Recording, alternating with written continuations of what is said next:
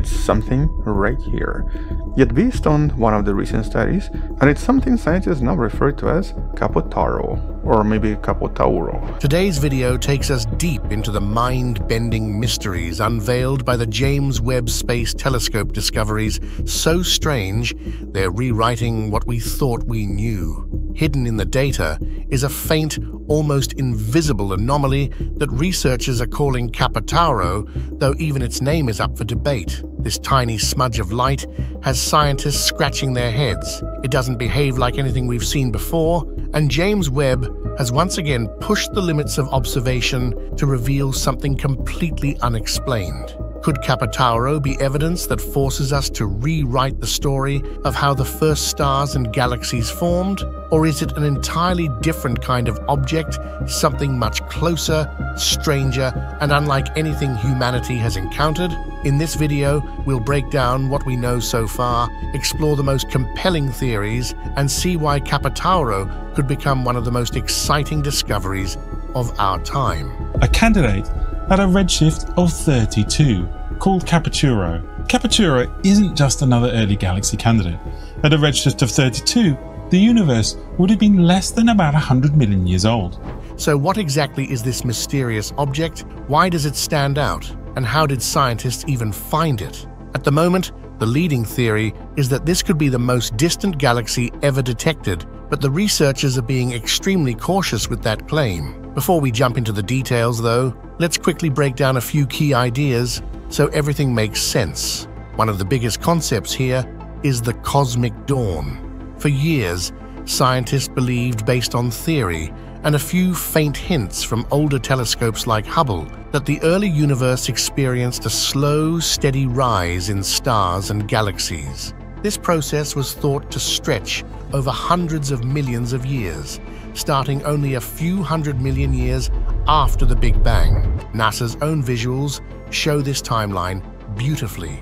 In that framework, the first stars were expected to ignite about 200 million years after the Big Bang, with the first galaxies taking shape roughly 400 million years later. But when the James Webb Space Telescope turned its powerful eyes to the same regions, it revealed a completely different picture. The early universe wasn't calm at all. It was a turbulent, fast-paced era where galaxies seemed to form far sooner and far more rapidly than anyone had predicted. Up until recently, Hubble's observations seemed to line up neatly with what scientists expected. Its vision, however, only reached a redshift of about 11 roughly 500 million years after the Big Bang. That was the limit. But then came the James Webb Space Telescope, built specifically to peer into the infrared. It smashed through those boundaries and began spotting objects at distances no one had imagined possible. Redshift 12 object. That's Redshift mm-hmm. Object 12 was discovered as a candidate using JWST. But, you know, here are a whole bunch of objects that could be Redshift 12. By May 2025, just months ago, Webb had already set a new benchmark. It confirmed the most distant galaxy ever observed, a cosmic powerhouse named MOMZ 14. This galaxy, which you can dive deeper into via the link in the description, existed a mere 280 million years after the Big Bang.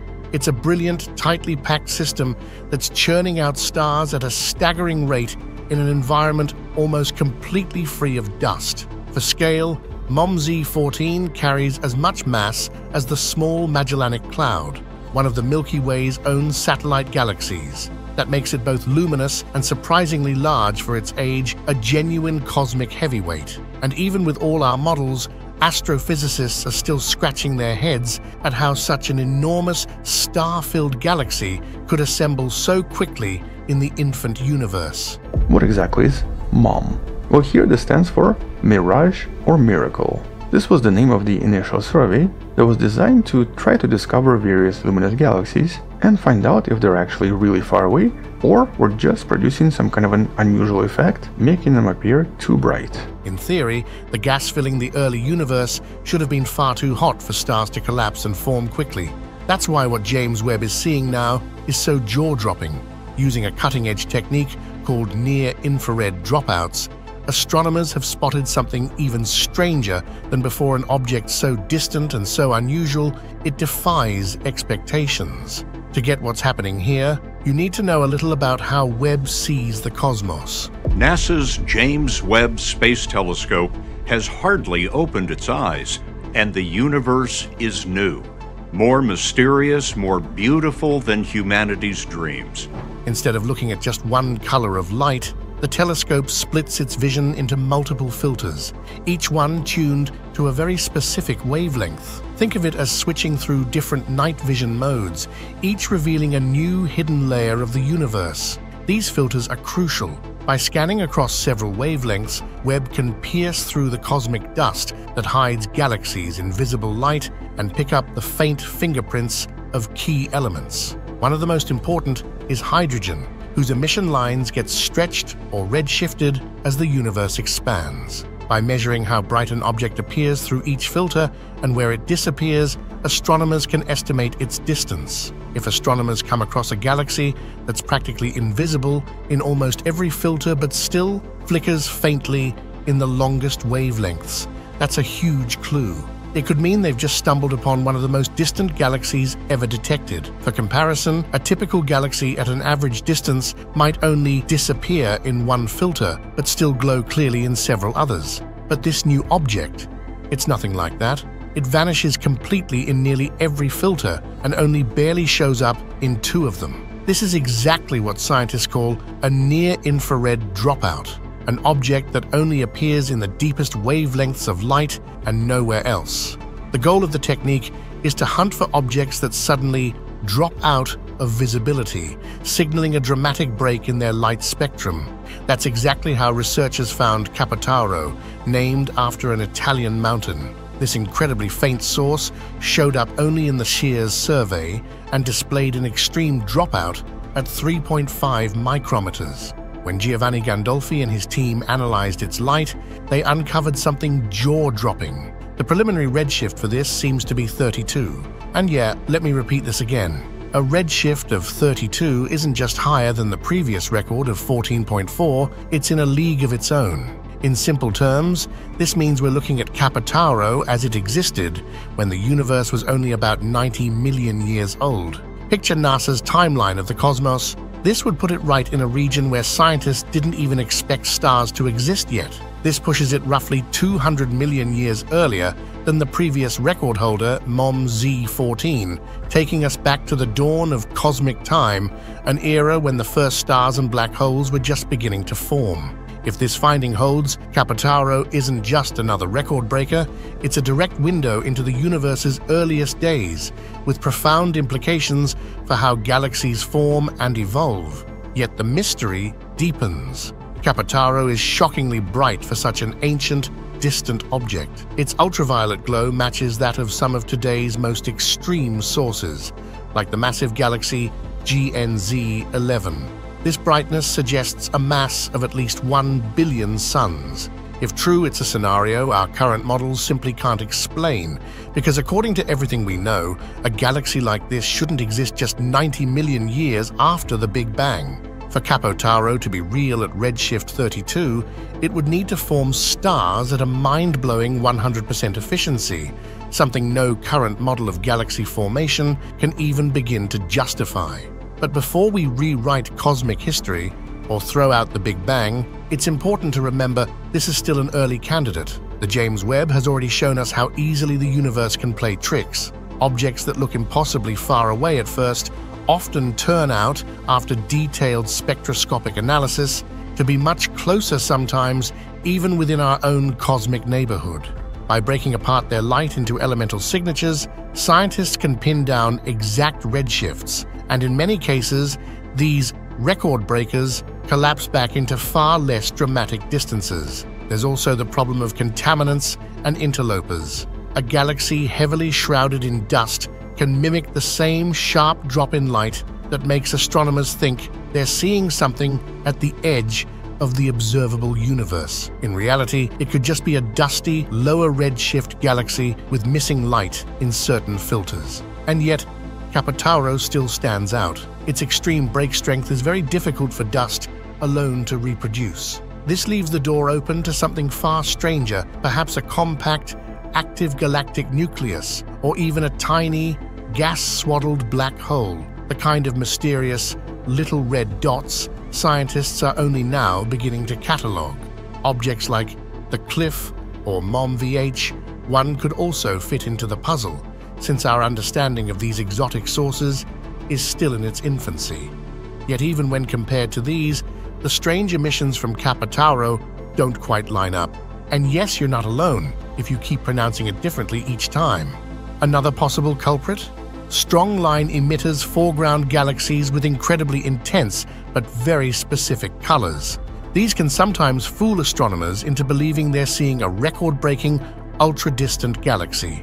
One famous example was CEERS 93316, initially pegged at a redshift of 16 before more precise observations revealed it was actually sitting at a redshift of just 4.9. Cases like this show how easily our cosmic radar can be tricked, but there's also a far stranger and frankly more exciting possibility. Maybe Capo Tauro isn't a galaxy at all. Maybe it isn't even that far away. It could be a cold, substellar object like a brown dwarf or a free-floating planet with an unusual atmosphere that creates sharp absorption features, mimicking the spectral drop-offs of a very distant galaxy. In other words, what looks like an echo from the dawn of time could actually be a rogue planet drifting through our own Milky Way. Interestingly, the light signature we're seeing actually resembles ultra-cold brown dwarfs, like the Y2 or Y3 types, which hover around 300 Kelvin not so different from temperatures here on Earth. Imagine that, a drifting object in space, roughly the same warmth as our planet, yet floating alone, far from any star. For it to match Kappa Tauro's signature, it would still need to be relatively distant, perhaps hundreds or even thousands of light years away technically possible, but incredibly far. If true, this would be record-breaking. Until now, we've only seen cold brown dwarfs at distances of about 50 to 60 light years.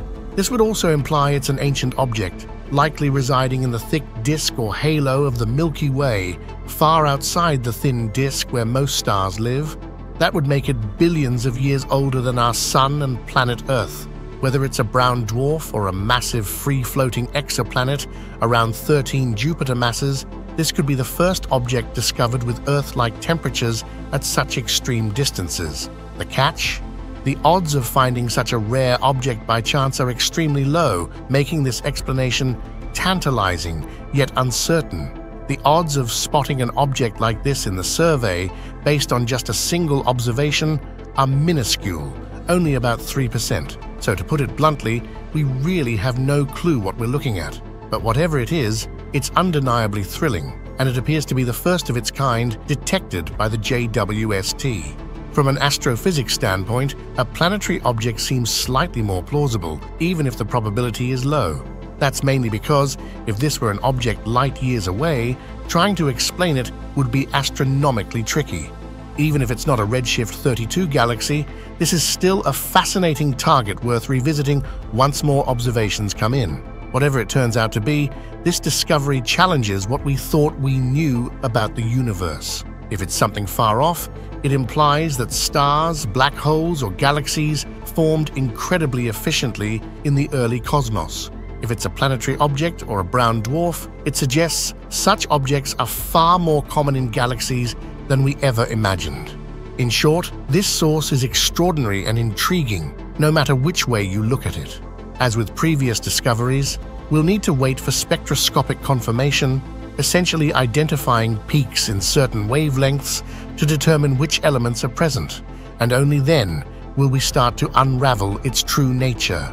It could be hydrogen, oxygen, or if we're looking at a planetary object, even a whole mix of complex elements. Right now, all of this is just speculation based on a single image and how the light disappears in certain filters so the idea of it being a Redshift 32 galaxy is, at this point, just an educated guess.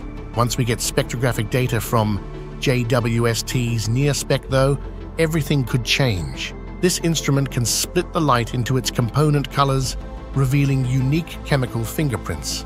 That's what makes JWST so extraordinary. It can identify individual elements across mind-boggling distances and help pinpoint exactly how far away objects really are. JWST is designed to observe objects out to a redshift of around 30. So if this is indeed a galaxy, confirmation could come within the next few months. But for now, all we have are tantalizing hints. What we do know is that the universe continues to surprise us. We have thrilling discoveries, but even more questions. Once JWST uncovers more about Kapataro and its origins, we'll dive back in for a closer look in future videos. And if you think you might know what this mysterious object is, drop your theories in the comments. We'd love to hear them. Anyway, on that note, thank you for watching. Come back tomorrow to learn something else. Stay wonderful, I'll see you tomorrow, and as always, bye bye.